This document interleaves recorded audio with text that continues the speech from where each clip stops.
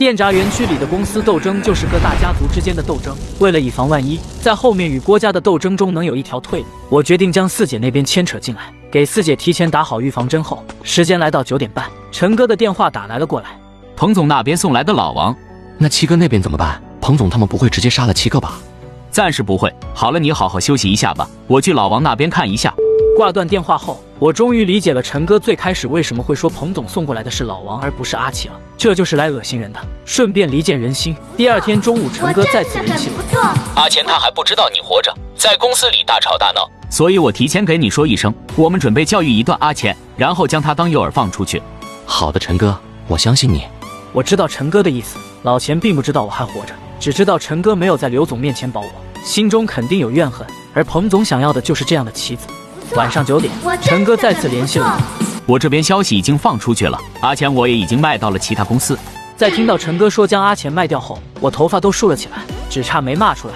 这样的风险实在是太大了。转卖阿钱不仅仅是我的意思，也是刘总的意思。这样是让彭总更加相信事情的真实性。而且我还告诉他，关于你的事情就是我布的一个局，是我故意借助刘总的手除掉的你。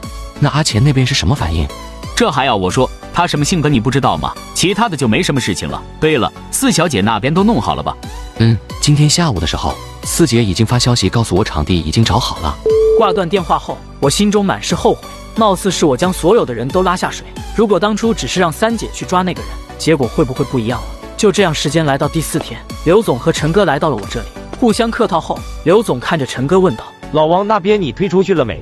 已经推了，现在在公司里也一直在处处排挤老王。现在老王看我的眼神都是愤恨。陈哥说完，眼神中闪过一丝无奈。这些事情，没有人比陈哥更伤心的。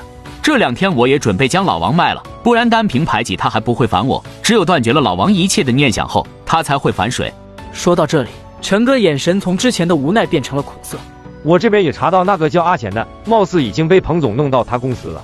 呵呵，他一定会这样做，叫老钱将我的所作所为全部告诉给阿七，然后策反阿七。当然，也有可能直接叫阿钱做了阿七。老钱现在对陈哥可谓是深恶痛绝，如果彭总真叫他这么做，我真不知道后面怎么面对他。等将老王转手出去后，我这边就准备开始动手了。皮炎子，你的目标是刀疤，除掉刀疤后，再对平头动手。好的，陈哥，到时候你直接通知我就行。第二天下午，陈哥就告诉我，老王也被卖到了其他公司。听到这个消息的我，不免有一种兔死狐悲的感觉。陈哥，你不担心老王他们恨你吗？见我这样问，电话那头的陈哥迟疑了一下，开口道：“随便吧，等成功将彭总他们扳倒后，要是他们想走的话，我会安排送他们回去的；要是想继续留下的话，也随便他们。”说完，陈哥挂断了电话。我现在不知道阿森什么情况，但是我相信，可能阿森也有点心灰意冷了，而老王也肯定因此性情大变。现在的一切都没法回头了。下午六点，陈哥和刘总再次来到了这边。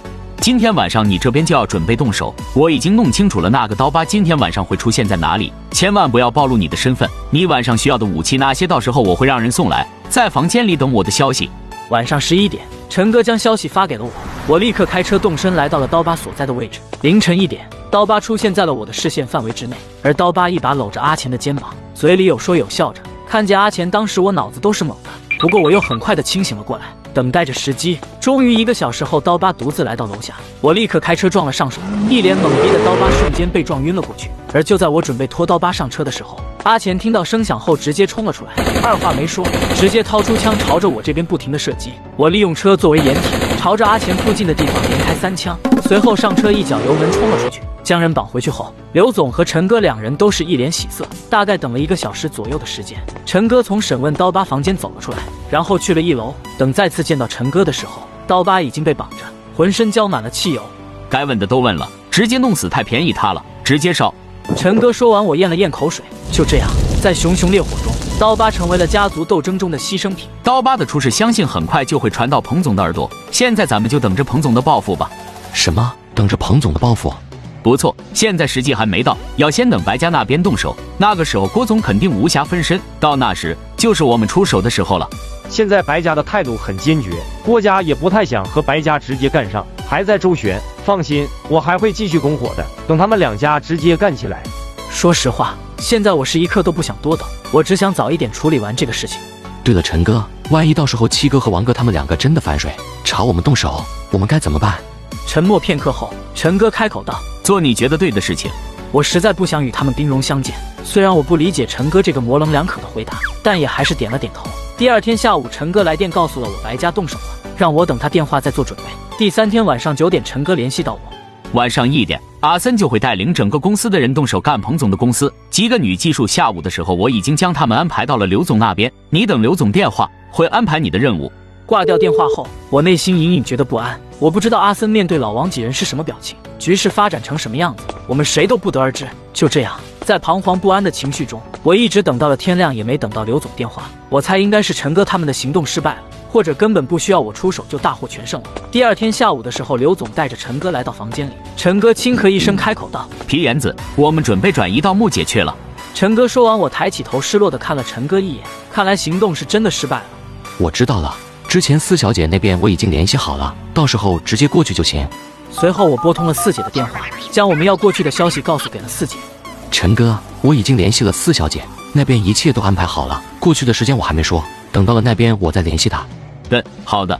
陈哥说完，刘总饶有深意的看了陈哥一眼，而陈哥却对着刘总摇摇头。第二天早早的起床后，陈哥将我拉到一边，开口道：“是不是恨我？”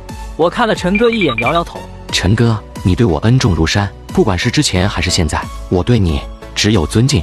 我话说完，陈哥脸上挤出一丝笑容。下午六点，在饭桌上，刘总看着陈哥，微微一笑，道：“撤退的事情你别担心，我会安排人把你们送出去的。”这些年也感谢刘总你的照顾了，有时间去木姐那边。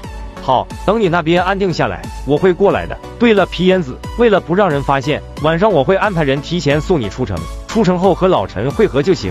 晚上九点，刘总的安排的人将我送达预定位置，一直等到十二点也没看到陈哥他们的身影。就在我准备蹲下来抽根华子之际，突然一辆车出现在我的视线之中，我慌忙起身。就在这短短间隙，那辆车已经停在了路边。我看到阿七、老王、阿钱从车上走出的一瞬间，顿感头皮发麻。我不知道是敌是友，只好偷偷的给陈哥发了一条消息，告知看到了他们三个，叫他不要过来。就在这时，阿七的手机也响了起来。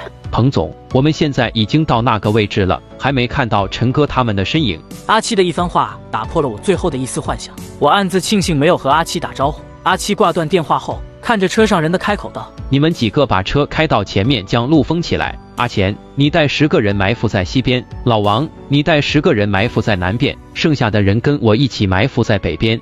阿七说完，就带着人朝着我藏身的地方走了过来。我连忙躲了起来。等他们到了刚才所指的位置后，没多久，远处再次传来汽车的光亮。我看了一眼手机，陈哥依旧没有回我消息。